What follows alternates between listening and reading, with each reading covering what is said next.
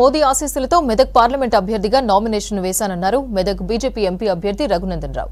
రెండు దశాబ్దాలుగా మెదక్ సమస్యలపై పోరాటం చేశానన్నారు. మెదక్ సెగ్మెంట్లో ధనబలానికి జనబలానికి మధ్య ఎన్నికల పోరు జరుగుతుందన్నారు.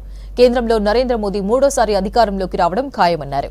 బీజేపీ ర్యాలీకి గోవా సీఎం ప్రమోద్ సావంత్ బీజేపీ రాష్ట్ర అధ్యక్షులు కిషన్ రెడ్డి హాజరవుతారని తెలిపారు రఘునందన్ రావు. ఆశీస్సులు ఆ రాముడి అండదండలతోటి ఈ ఎన్నికల యుద్ధాన్ని నేను గెలవాలని అనుకుంటుంటే కొన్ని స్వార్థపర శక్తులు డబ్బులు అధికారం వాటిని దుర్వినియోగం చేసి గెలవాలనుకుంటా ఉన్నారు.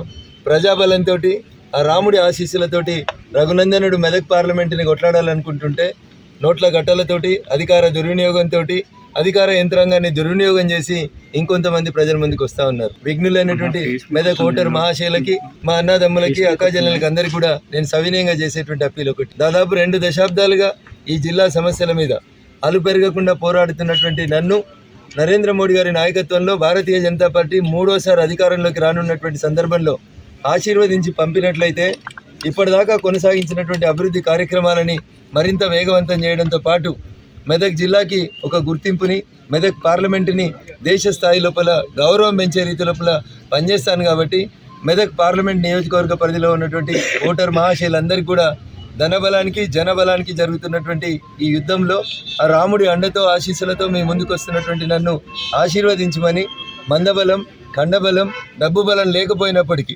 గొంతుతో నోటితో ప్రజా సమస్యలే నా ఎజెండాగా. వాయిస్ ఆఫ్ ద వాయిస్లెస్గా పేద ప్రజల గొంతుకగా ఎవరైతే మాట్లాడలేం చట్టసభలో మా హక్కులు వినబడతలేవని బాధపడుతున్నారో ఆ ప్రజల గొంతుకగా